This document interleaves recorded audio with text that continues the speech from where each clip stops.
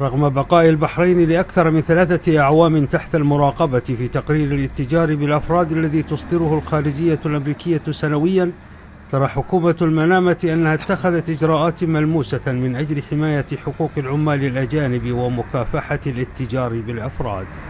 وكانت إحصائية قد صدرت عن النيابة العامة البحرينية العام الماضي.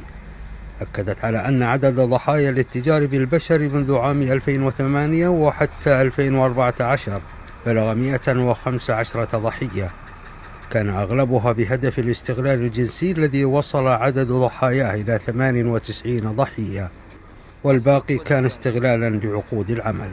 فيما أظهرت الإحصائية أن الضحايا من الذكور تجاوز ضعف العدد من النساء حيث بلغت ضحايا الرجال 147 ضحية بالمقارنة مع 63 من النساء في شقيهم الجنسي أو عقد العمل.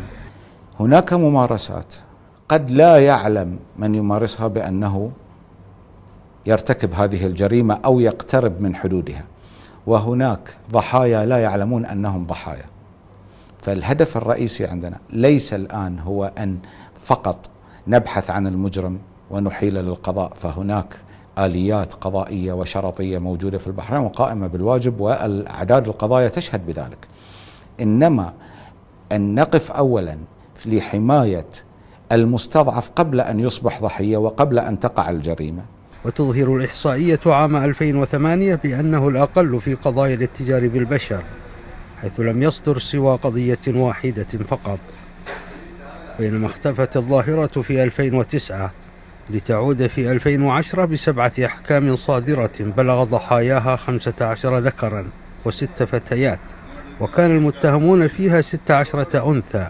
ثم يتكرر اختفاء الظاهرة في 2011 لتعود مرة أخرى في العام التالي بحكمين صادرين ضحاياهما خمس فتيات وستة ذكور وثمان متهمات.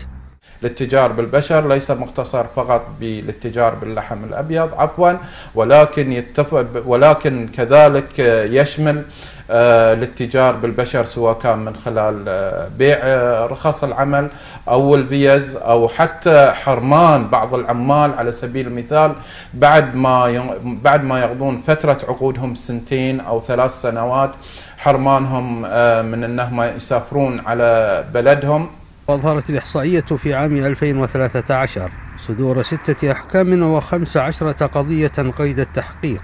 اشتملت على 33 ضحية أنثى و103 من الذكور وسبع متهمات إلى جانب 18 متهما. فيما أظهرت الإحصائية العام 2014 بتسع قضايا قيد التحقيق. اشتملت على 18 ضحية أنثى و23 ذكرا. سعد الدوسري بي بي سي.